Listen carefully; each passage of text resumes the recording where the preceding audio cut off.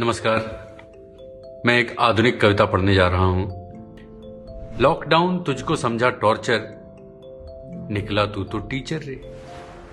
घर में बंद हूँ, लेकिन मैं कुछ पहले से आज़ाद हूँ। नज़रें कैद हैं चार दीवारी, पर नए नज़रिए से आबाद हूँ।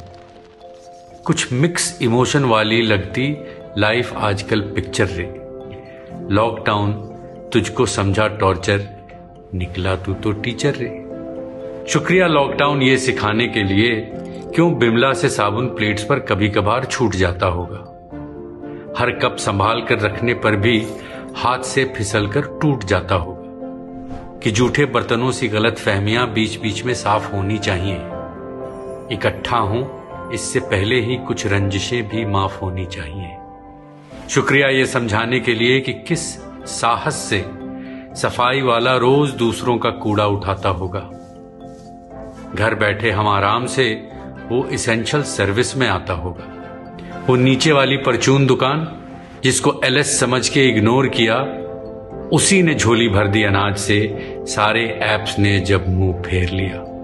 बाहर की जगमग इतनी थी कि झांकना भूल गए थे भीतर रे। लॉकडाउन तुझको समझा टॉर्चर निकला तू तो टीचर रे। शुक्रिया लॉकडाउन यह याद दिलाने के लिए।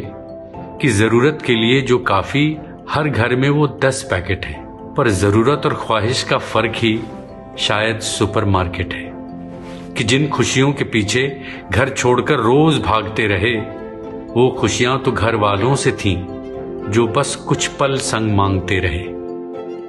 जो इत्मीनान ढूंढते रहे एक वेकेशन यूके पेरिस रोम में।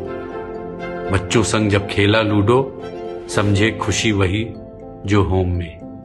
जरूरतें तो सारी कंट्रोल में, बस ख्वाहिशों का भागे मीटर रे। लॉकडाउन तुझको समझा टॉर्चर निकला तू तो टीचर रे।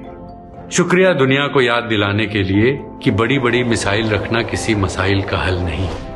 हॉस्पिटल्स की है असली ताकत वेपन्स में कोई बल नहीं। खिल के कुदरत करे इशारे, सुधरने का है पल यही। आज ना संभले तो शायद फिर अपना भी कोई कल नहीं।